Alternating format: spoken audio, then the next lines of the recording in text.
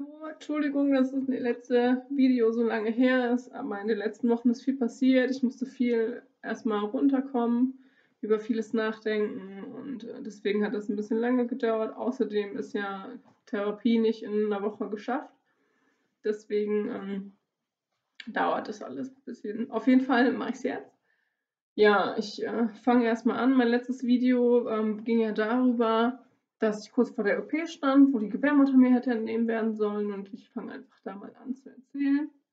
Ich war beim, ähm, in Hamburg bei meinem Arzt, hatte dann den OP-Termin und ähm, ja, dann bin ich halt in den OP reingekommen, ganz normal, äh, habe geschlafen und äh, der Arzt hat mich operiert ich hatte aber vorher, ich hatte hier an der Seite so Schmerzen und ich wollte wissen, warum. Und dann hat die Ärztin vorher auch bei einer Untersuchung beim Ultraschall festgestellt, dass ich eine fette Zyste an den Eierstücken habe. Meine Eierstücke sitzen ja nicht mehr da, wo sie vorher, wo sie normal sitzen, sondern oben an den Nieren. Und das tat mir halt unheimlich weh.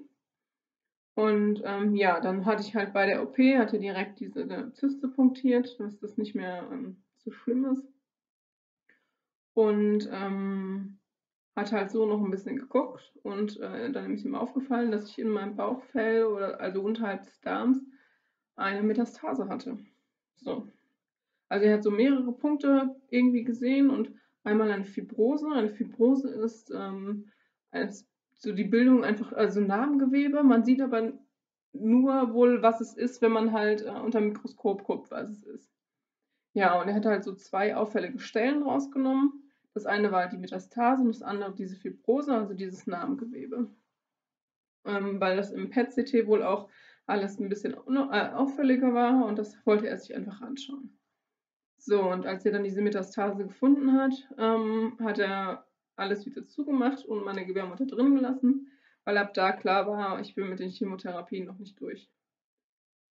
Ja, also meine Gebärmutter ist noch drin dann äh, hat mein Arzt mir da gesagt, ich muss mich jetzt auf weitere Chemotherapien einstellen und ähm, er sagte eigentlich, das werden so 18 bis 21 Wochen sein. Das ist eine Chemotherapie, die alle, nur alle drei Wochen verabreicht wird. Habe ich gesagt, gut. Ich würde gerne den ersten Teil unten in Koblenz machen, damit ich erstmal zu Hause bin, um zu gucken, wie ich das so vertrage. Und den zweiten Teil im November. Äh, im November, im zweiten Teil dann Hamburg.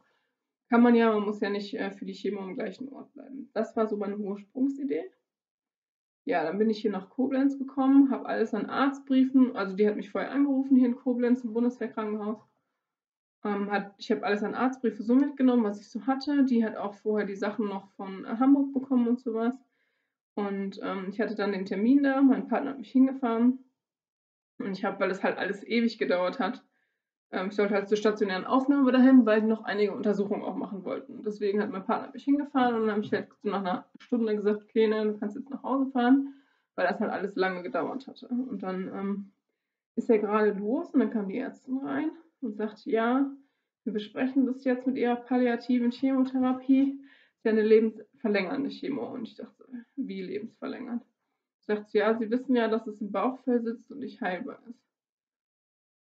Und ich war baff. Ich fing an zu weinen. Es war einfach, ich kann das nicht erklären, wirklich nicht.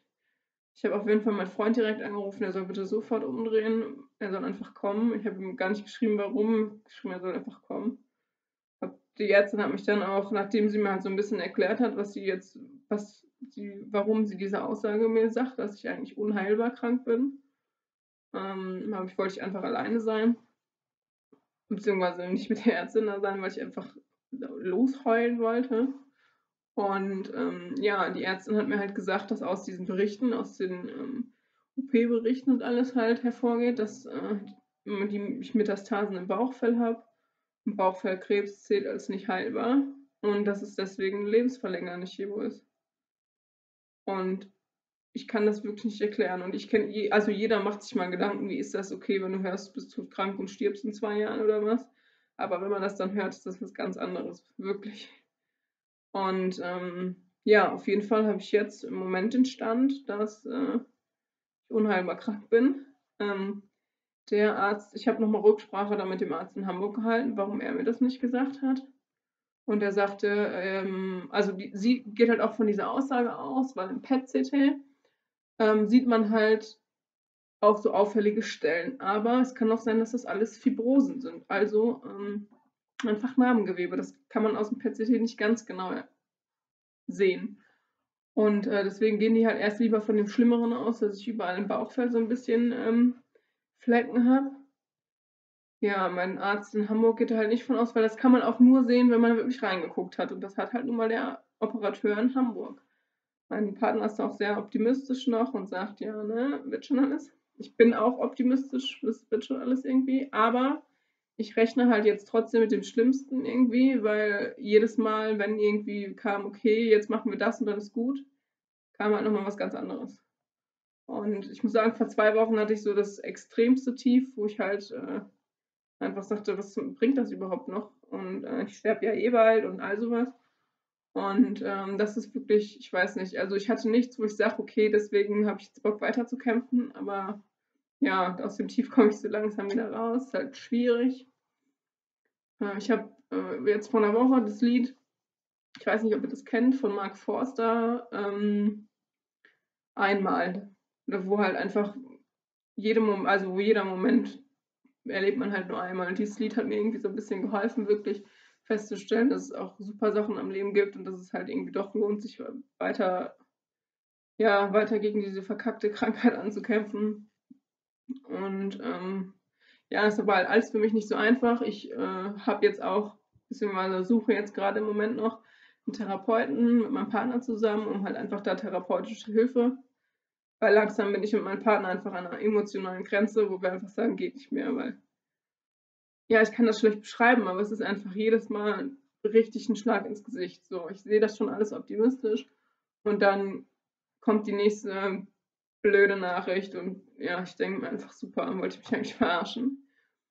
Und ja, auf jeden Fall ähm, haben wir jetzt therapeutische Hilfe und äh, fangen da jetzt hoffentlich auch so bald mit an, aber Therapeuten sind halt recht ausgebucht. Aber ähm, ja, weil man muss sich auch mal eingestehen, dass man alleine das einfach nicht mehr schafft. Und das habe ich. Das weiß ich, dass ich alleine einfach aus diesem Tief auch irgendwie ganz nicht so rauskomme. Ja, mein Partner hilft mir unglaublich viel und sagt, komm, ne, mach jetzt. Ähm, ja, das ist schon mal super. Aber es ist einfach beschissen. Also, ähm, ja, ich habe auf jeden Fall jetzt letzte Woche meine erste Chemo wieder gehabt. Kriege jetzt alle drei Wochen eine drei Stück erstmal. Ich werde auch meine Haare verlieren. Das ist auch das letzte Video mit meinen schönen langen Haaren. Ich habe nämlich am Dienstag jetzt einen Termin beim Friseur, um erstmal meine Haare kurz zu schneiden, weil ich war am Freitag beim Friseur, der sich halt auf Zweiter spezialisiert hat. Ähm, wenn jemand hier in der Nähe Rheinland-Pfalz irgendwie Richtung alles Richtung Koblenz kommt und äh, da auch mal so Sachen hat, können wir gerne schreiben und sage ich, äh, bei wem ich das mache. Ähm, ja, ist auf jeden Fall ein super Friseur, der ist wirklich top.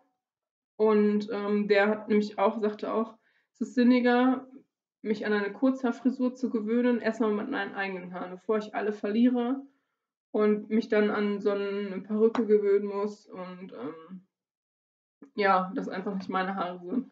Deswegen werde ich mir am Dienstag meine Haare kurz schneiden lassen. Das macht auch das Ausfallen dann einfacher. Im Moment habe ich noch alle, ich habe noch keine Löcher oder irgendwie was. Aber äh, ich werde sie definitiv verlieren. Wenn ich sie nicht verliere, dann äh, raste ich aus, weil dafür habe ich mir meine Haare kurz geschnitten. Ja, ich bin mal gespannt, wie es aussieht. Ich hoffe nicht so tragisch, aber das wird schon. Ja, so viel dazu. Das ist so der aktuelle Stand. Ich kriege jetzt nicht nur Cisplatin, was ich vorher auch hatte, sondern kriege noch zwei andere. Deswegen auch der Haarverlust diesmal. Ich muss erstmal drei Stück, wie gesagt, machen, bin bis Ende Dezember damit beschäftigt. Und dann heißt es nochmal ein PET-CT, um zu gucken, ob diese Flecken da irgendwie besser geworden sind.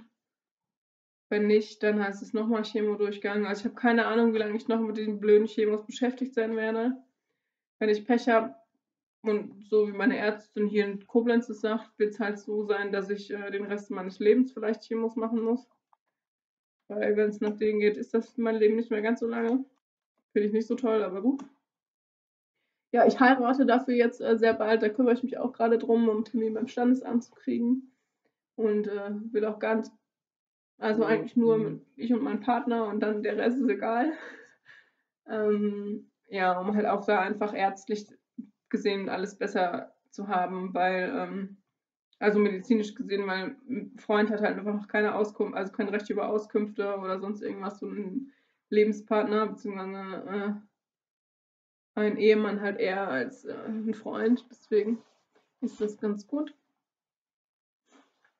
Ja, so viel dazu. Ist auf jeden Fall alles nicht so super. Ich lasse den Kopf trotzdem nicht hängen. Mein Freund sagt auch, er schlägt mich, wenn ich den Kopf hängen lasse. Und das wird schon. Und ja, ich stelle halt auch wieder fest, man muss da wirklich dranbleiben und wirklich, auch wenn das tief kommt, wo man sich denkt, wofür mache ich das eigentlich und für wen mache ich das eigentlich und warum kriegen andere was hin, aber ich nicht, ähm, da einfach irgendwann kommt man aus diesem Tief raus und auch beziehungsweise auch mal sich eingestehen, ich kann nicht mehr und sich Hilfe suchen, weil man kann nicht alles alleine schaffen, egal wie stark man ist oder wie man sich einredet, wie stark man ist.